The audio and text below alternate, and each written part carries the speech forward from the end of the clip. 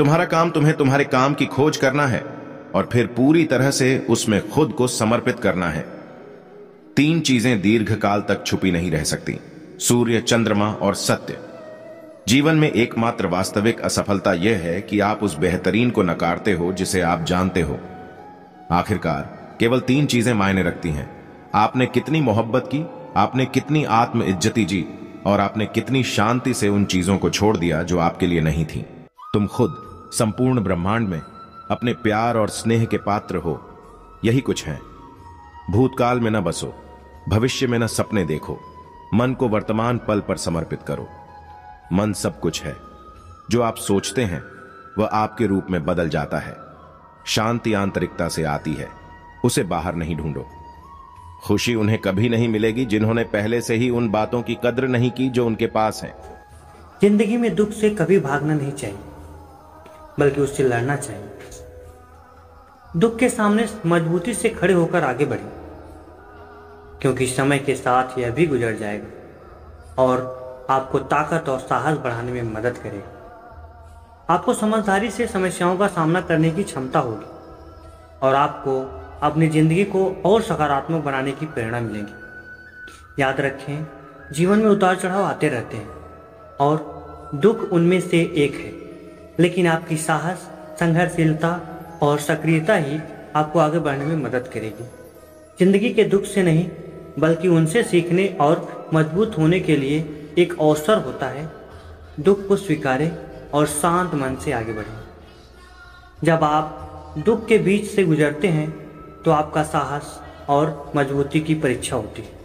जब ज़िंदगी आपको पथिक बनाती है तो दुख सिर्फ़ एक रास्ता है न कि आपका गंभीर नामकरण।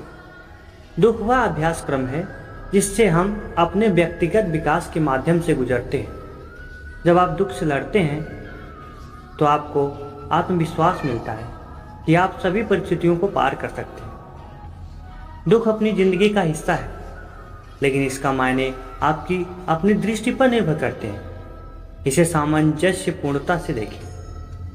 दुख वह साक्षात्कार है जो आपको एक नए और संवेदनशील अंदाज में जीने को प्रेरित करता है। दुख एक मौका है, जो आपको आपकी सबसे मज़बूत और समर्थ स्वरूप को पहचानने का मौका देता है। दुख आपको विकसित करता है, उसको छोड़ने के बजाय उसे सीखने की कोशिश करें ज़िंदगी में दुख तो हमेशा होता है, लेकिन उसे हराना संभव है। दुख से ना डरे, बल्कि मज़बूत होकर सामना करें।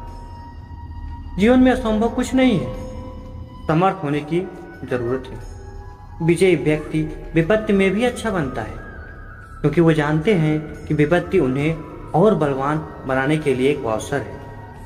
अब की बार नहीं तो फिर कभी अपने दुख को छोड़ दो और अगले सफलता के दरवाजे की ओर बढ़ो। जब आप दुख के मैदान में खड़े होते हैं तो आप अपने व्यक्तित्व की सच्चाई को समझते हैं।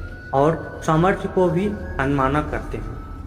बादलों के छांव में छिपे रंग हमेशा सूरज के चमकते हुए समय के लिए टिकते हैं। इसी तरह आपके दुख भी विराम नहीं, बल्कि सफलता के लिए तैयारी का अवसर है। जीवन एक मार्गदर्शक की तरह है, जिसमें दुख और सुख दोनों के पहलू होते हैं। दुख दुख से उबर कर हम सुख की महत्व को समझते हैं और उसे सराहने के लिए तैयार होते हैं। सब्र रखो क्योंकि दुख के बाद सफलता भी अवश्य आएगी। सफलता वहाँ होती है जहाँ सब्र और संघर्ष होता है। जब दुख के बाद सफलता आए तो वो आपकी मेहनत को सराहेगी और आपको और ताकत देगी। जब ज़िंदगी आपको तूफानों से घेर ले तो आपको अपने अंदर के साहसी राजा का पता चलता है। बिना दुख के सफलता का मूल्य नहीं होता। दुख को अपने सफलता की ऊंचाइयों का एक मंजर माने। जीवन में दुख का सामना करके ही हम असली सफलता का स्वाद जानते हैं। इसलिए समर्थ होने के लिए दुख को प्रेरणा बनाएँ और अपने लक्ष्यों की दिशा में अग्रसर रहें। ज़िंदगी में दुख का सामना करना अनिवार्य इसे परास्त करने के लिए दुख वह छोटा सा संकेत है जो सबको मिलता है। पर महानता वह है जो उससे उठता है। जब आप दुख का सामना करते हैं तो आपका विकास होता है। दुख से सीखो, बलिदान से जीवन को सजाओ। अंधकार और उदासी के रास्ते से निकलकर आप एक उजाली भरी सुबह की तरफ़ आगे बढ़ सकते हैं। दुख से नहीं, बल्कि उसको पार करने के सामर्थ्य से आपकी महानता का माप होता है। जीवन के दुखों से प्रेरित होकर आप अपने सपनों को साकार कर सकते हैं। दुख से जुड़े अनुभव ही आपको आपकी असली ताकत का एहसास करते हैं। कभी कभी बड़ा दुख होना ज़रूरी होता है, ताकि आप जान सकें कि खुशियों का असली महत्व क्या है। बड़ा दुख उसे कहलाता है, जो ना सिर्फ़ समझता है, बल्कि इससे सीख भी लेता है।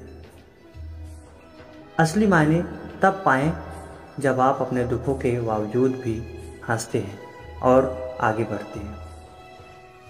जब दुख का सामना करें तो समझे कि यह भी गुजर जाएगा। बस तब तक आप अपने आप पर विश्वास रखें। दुख और खुशी एक सिक्के के दो पहलू हैं। आप दोनों को संतुलित रखें और ज़िंदगी को बेहतर बनाएँ। जीवन की सच्चाई यह है कि दुख और मुसीबतें हमें अपने मार्ग पर मज़बूत बनाती हैं।